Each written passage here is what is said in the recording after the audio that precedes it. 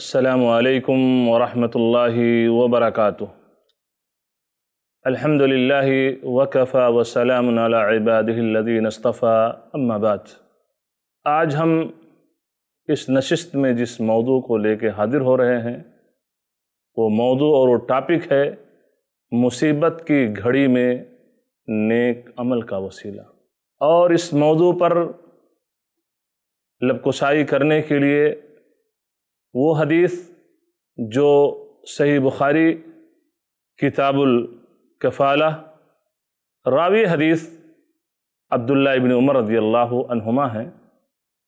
कहते हैं कि मैंने अल्लाह के रसूल सल्लल्लाहु अलैहि वसल्लम को फरमाते हुए सुना कि तीन लोग थे। तुमसे पहले तीन लोग ऐसे थे जो सफ़र कर रहे थे और सफ़र करते हुए ये एक पहाड़ की गुफा में गए और वहाँ इन्होंने पनाह लेना चाहा। पहाड़ की गुफा में ये पहुँचे ही थे, अंदर ये हुए थे, उस गार के अंदर। ऊपर से एक चट्टान खिसकता है और उस गार का, उस गुफा का मुँह बंद हो जाता है, यानी निकलने का रास्ता बंद हो जाता है। इन लोगों ने आपस में ये कहा कि देखो, इस चट्टान को कौन खिसका सकता है? ये मुसीबत है, इस मुसीबत से निजात सिर्फ़ अल्लाह ही दे सकता है। इसलिए चाहिए कि अपने अपने नेक अमल का वास्ता दे करके अल्लाह ताला से दुआएँ करो। एक इंसान ने कहा कि अल्लाह तबारक ताला, मेरे बूढ़े वालदेन थे, मेरे बूढ़े माँ बाप थे, मेरा काम बकरियों का चराना था। बकरियों को चराने के लिए जाता था और जब बकरियों को ले करके वापस लौटता था, बकरियों का दूध दूहता था और पहले अपने माँ बाप को पिलाता था, फिर बच्चों को पिलाता था। एक दिन ऐसा हुआ कि मैं ज़रा दूर निकल गया और जब रात को बकरियों को ले करके वापस लौटा, देखा कि मेरे माँ बाप मेरे बूढ़े वालदेन सो चुके हैं, नींद की आगोश में हैं। मैं दो दुह करके, दूध का बर्तन ले करके अपने माँ बाप के पास पहुँचता हूँ। देखता हूँ कि वो सो चुके हैं। दूसरी रवायत जिसमें सराहत मौजूद है कि मेरे बच्चे मेरे पैरों के पास बिलक बिलक करके भूख से रो रहे थे। लेकिन मैंने मुनासिब नहीं समझा कि मेरे माँ बाप भूखे सो रहे हों और मैं अपने बच्चों को पहले दूध पिला दूँ। इंतज़ार करता रहा जब मेरे माँ बाप की नींद खुलती है, नींद से बेदार होते हैं। मैं अपने उन बूढ़े माँ बाप को दूध पिलाता हूँ। परवरदिगार आलम, अगर ये अमल मैंने तेरी खुशनुदी के लिए किया था तो इस मुसीबत से निजात दे दे। इतना कहना था कि वो चट्टान थोड़ा सा खिसकता है, लेकिन इतना नहीं कि ये लोग उस पहाड़ की गुफा से, उस गार से बाहर आ सकें। दूसरा इंसान वो भी अपनी नेकी का वास्ता दे करके अल्लाह ताला से दुआएँ करता है। कहता है कि अय परवरदिगार आलम, मेरी एक चसादात बहन थी। मैं उससे बड़ी ही मोहब्बत किया करता था, उस पर फरेफ्ता था, लेकिन मौका मेरे हाथ नहीं आता था। कह साली पड़ गई, सूखा पड़ गया उस मुसीबत की घड़ी में वो मेरी चचाजाद बहन मेरे पास आती है। मैं उसे 120 दिनार देता हूँ इस शर्त पर कि वो अपने आप को मेरे हवाले कर दे। अपने आप को मेरे हवाले कर दे। 120 दिनार मैं उसे देता हूँ। जब वो पाक दामन खातून मेरे पास आती है। मैं तन्हाई में होता हूँ। गलत इरादे से मैं उसके करीब जाता हूँ। वो पाक दामन, खातून ये कहती है लाका अन खातिम इल्ला बेहक़ कि तुम्हारे लिए इस ख़त्म को तोड़ना जायज़ नहीं है। इस महर को तोड़ना जायज़ नहीं है इल्ला कि उसके हक के साथ। ये काम जो करने जा रहे हो, ये गलत है। ये काम, ये जायज़ है। अपनी ख्वाहिशात की तकमील जायज़ है। तो हक ये है कि निकाह के बाद इतना सुनना था कि मैं जिस गलत इरादे से उसके करीब हुआ था, मैं उससे बाज आ गया।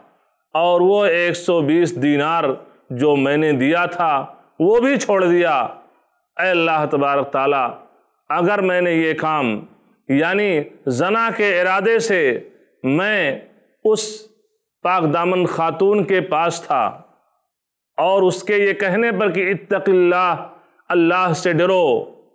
मैं डर गया और 120 दिनार भी उसके हवाले कर दिया। जना से बाज आ गया, परवरदिगार आलम, अगर हमने ये अमल तेरी खुशनुदी के लिए किया था, तेरी रजाजुई के लिए किया था तो अल्लाह तबारक ताला इस मुसीबत से निजात दे दे।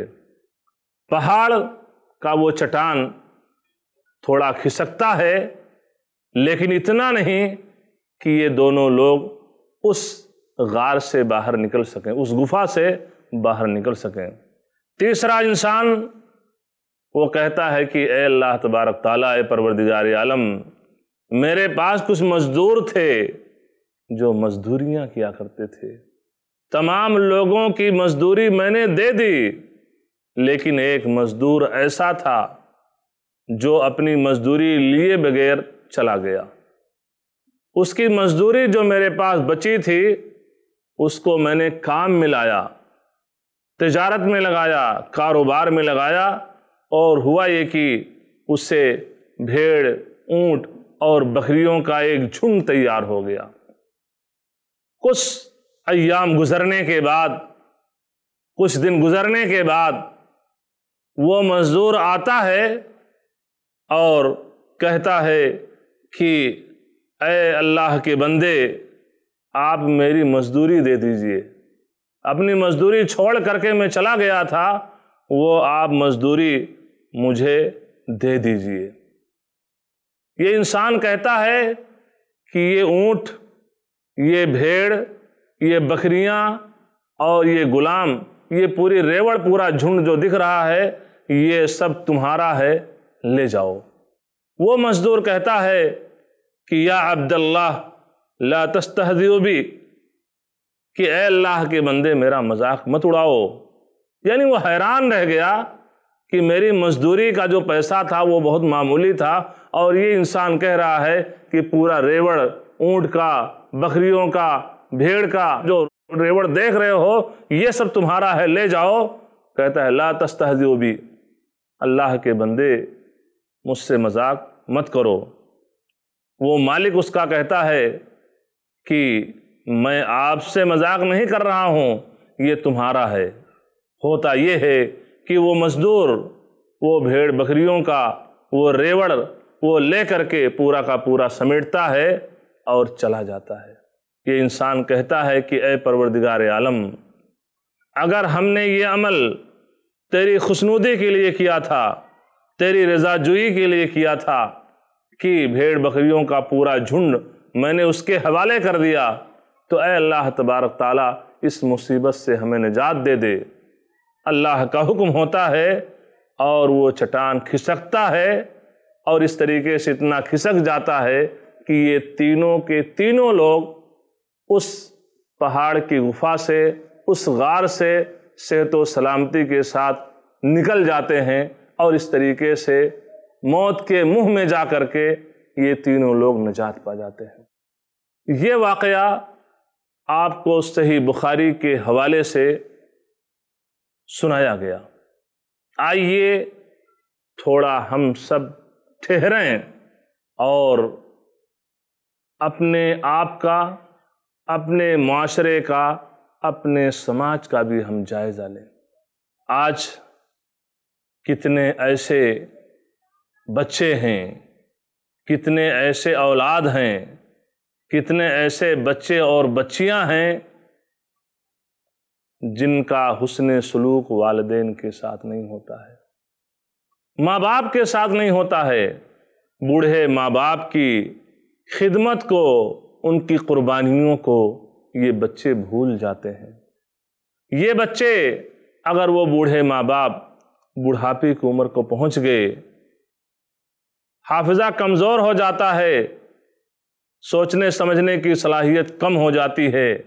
कोई चीज़ अगर इन बच्चों से, बच्चियों से एक बार अगर ये कहें, उनके समझ में ना आए, दूसरी बार पूछ लें कि बेटे, कैसा, क्या आपने कहा? वो बेटा और वो बेटी अपने माँ बाप को डांट देती है, डांट देता है। अरे, क्या है बाबा? पागल करके रख डाले। एक बार कहानी समझ में आ रहा है। ये नहीं सोचता है कि ये हमारे माँ बाप थे, कि बचपन में अल्लाह के फजल और तौफीक के बाद में ये सबब बने हमें रास्ता दिखाने के लिए, बात करने के लिए, चलने के लिए जब मैं इनकी उंगलियाँ पकड़ करके चला करता था और कोई चीज़ रास्ते में दिखाई पड़ जाती थी, नज़र आ जाती थी, घर में कोई चीज़ नज़र आ गई, उस चीज़ के बारे में मैं इन माँ बाप से दसियों सवाल करता था, ये ऐसा क्यों है? ये ऐसा क्यों नहीं है? ये ऐसा क्यों है? दसियों सवाल करता था और ये हमारे माँ बाप बड़ी उल्फत और मोहब्बत के साथ उन सवालों का जवाबात दिया करते थे। और मेरे इन सवालों पर वो खुश हुआ करते थे कि ये दलील है कि मेरा बच्चा अक्लमंद है, ये कितनी सवालात करता है, कितने सवालात का झड़ लगा देता है। वो उसका जवाब बड़ी खंदा पेशानी के साथ दिया करते थे और यह है कि उस पर खुश हुआ करते थे। ये बूढ़े माँ बाप जो अपनी ख्वाहिशात पर कंट्रोल रखते थे, बहुत सी चीज़ें अपनी जायज़ ख्वाहिशात को कुर्बान कर देते थे, इन बच्चों के लिए। मिसाल के तौर पर, एक माँ है जो घर में मौजूद है। बाप घर से बाहर आता है, खाने पीने की कोई चीज़ लेके आता है। सबको मिल जाता है, माँ सबको बांट देती है। अपना हिस्सा लेकर के जब खाने लगती है, कोई बेटा जिद कर लेता है। वो माँ उस चीज़ को ना खाते हुए अपने उस बेटे को दे देती है कि, बेटा अगर खा लिया तो मैं भी खा ली। यानी उस चीज़ को खाना गवारा नहीं करते कि मेरा बेटा खा ले, मेरी बेटी खा ले, लेकिन नो प्रॉब्लम मैं नहीं खाऊँगी। लेकिन ये बच्चे जब बड़े होते हैं तो माँ बाप के साथ नारवा सलूक करते हैं।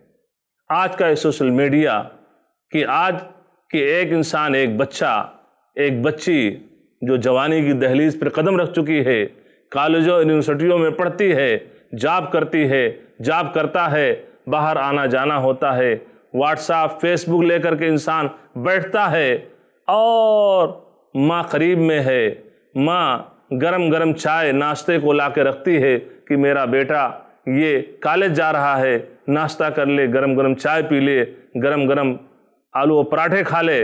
वो रखती है और जाती है, पंद्रह मिनट के बाद दस मिनट लौटती है, देखती है कि ये बेटा व्हाट्सएप फेसबुक पे लगा हुआ है। अरे बाबा, खा लो ना।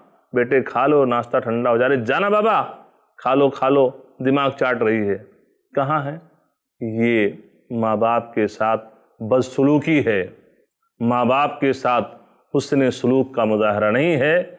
इसलिए अगर आप चाहते हैं कि मुसीबत की घड़ी में जब किसी नागहानी मुसीबत के शिकार हो जाएँ और उस वक्त अपने नेक अमल का वास्ता दें, अल्लाह ताला आपको उस मुसीबत की घड़ी से निकाल सकता है और आपकी उस परेशानी को अल्लाह ताला दूर कर सकता है तो उन नेकियों में एक नेकी ये भी है कि माँ बाप के साथ हुसन सलूक कर रहे हों, उसका भी वास्ता देंगे, उसका वसीला अल्लाह ताला के सामने पेश करेंगे, अल्लाह ताला आपकी मुश्किलात को आसान फरमा देगा। इसी तरीके से एक इंसान किसी ऐसी जगह मौजूद है कि जहाँ बुराई और गुनाह करने के तमाम वसाइल मैसर हैं। आज के वक्त में देखिए कि हर इंसान के पास दुनिया का तमाम फितना उसके इस मोबाइल में मौजूद है। आप अपने बंद कमरे में हैं। नेट पैकेज है। आप जहाँ चाहें, जहाँ की सैर कर सकते हैं, आप यूट्यूब ओपन करते हैं। यूट्यूब पे जहाँ आप इस्लामी प्रोग्राम देखते हैं, जहाँ आप कुरान की तलावत सुनते हैं, जहाँ आप दरस हदीस सुनते हैं, और बहुत सी मुफीद चीज़ें आप देखते हैं, वहीं यूट्यूब पर आप गंदे प्रोग्राम भी देख सकते हैं, गंदे प्रोग्राम भी आते हैं, और बहुत से फहश और मुनकरात और बहुत सी नाजायज़ और हराम चीज़ें भी आती हैं। बंद कमरे में मौजूद हैं, कोई और नहीं है, करामन कातबीन हैं, अल्लाह की नज़र आपकी हर हरकत पे है, वहाँ कोई सीबीआई ब्रांच नहीं है कोई खुफिया एजेंसियाँ नहीं हैं, कोई सीसी कैमरा नहीं है जो आपकी नकल हरकत को कैच कर रहा हो। आप चाहें तो वो गलत काम कर सकते हैं, लेकिन अल्लाह के डर से अपने आप को बचा लेते हैं। शैतान आता है कि यहाँ क्लिक कीजिए, लेकिन आप नहीं, ये हराम है। उस हराम काम से, उस हराम कारी से तन्हाई में आप बच जा रहे हैं। कल जब किसी मुसीबत की घड़ी में आप होंगे अपने उस नेक अमल का वास्ता अल्लाह ताला से देंगे।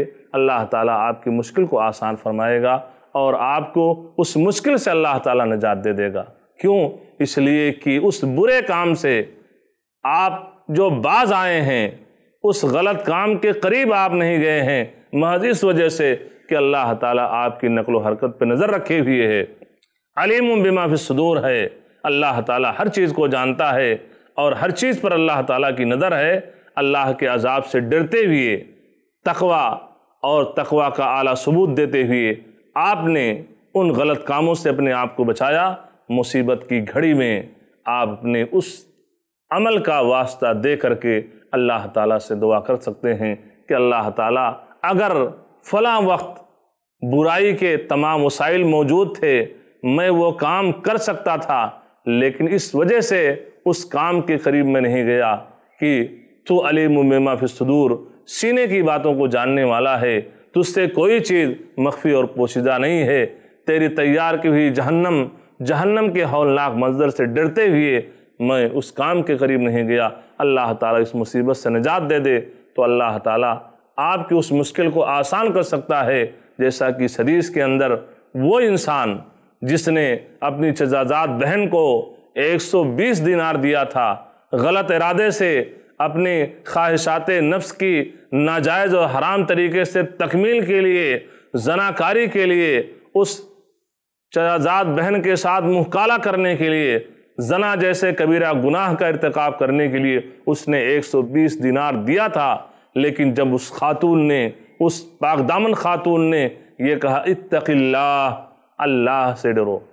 अल्लाह का वास्ता देती है। अल्लाह के अजाब से डरने के बारे में कहती है, ये इंसान उस गलत काम से बाज आ जाता है और 120 दीनार उसे सदक़े के तौर पर दे देता है और जब उस अमल का वास्ता दे करके अल्लाह ताला से दुआएँ करता है तो अल्लाह ताला के हुक्म से वो चटान जो आकर के गार के मुँह पे आकर के गार बंद हो गया था, वो ऊपर खिसक जाता है और उम्मीद की किरणें इनके सामने आने लगती हैं कि अब हम इस मुसीबत से निजात पा सकते हैं। ऐसे ही हमारे माशरे में, समाज में अमीर भी हैं, गरीब भी हैं, फ़कीर भी हैं, मोहताज भी हैं, सेठ भी हैं, वर्कर भी हैं, सब किस्म के लोग मौजूद हैं।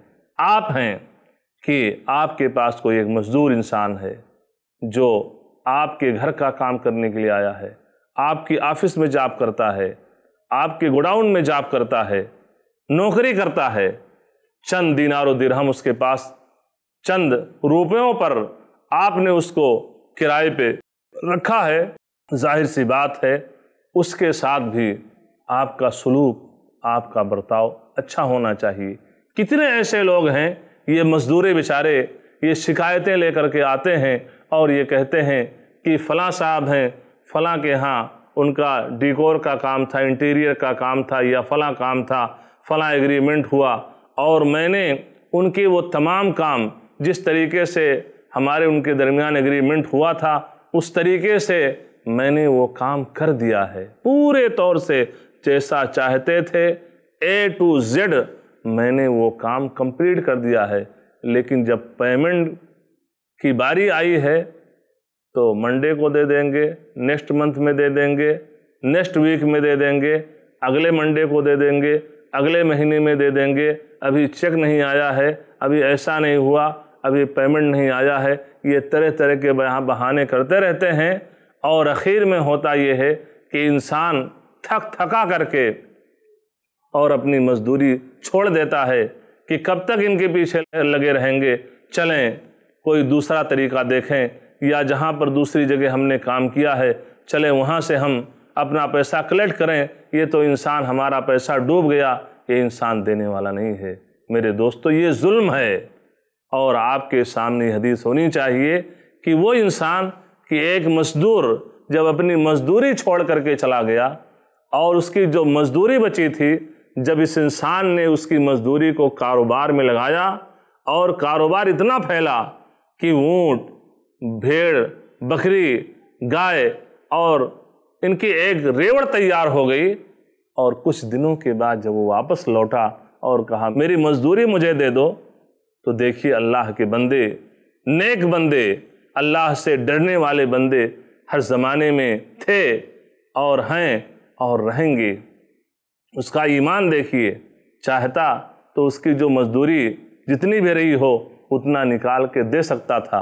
उस मजदूरे को ये पता भी नहीं था कि हमारी जो मजदूरी बची थी, उसको इसने कारोबार में लगाया है और कारोबार में लगाने से इसके पास ये जानवरों का एक रेवड़ तैयार हो चुका है। उसको पता भी नहीं था, चाहता तो थोड़ी मोड़ी जो मजदूरी बची थी दे करके और पटा लेता, लेकिन तखवा था खशीत इलाही थी, अल्लाह का डर था, अमानतदारी थी, दयानतदारी थी।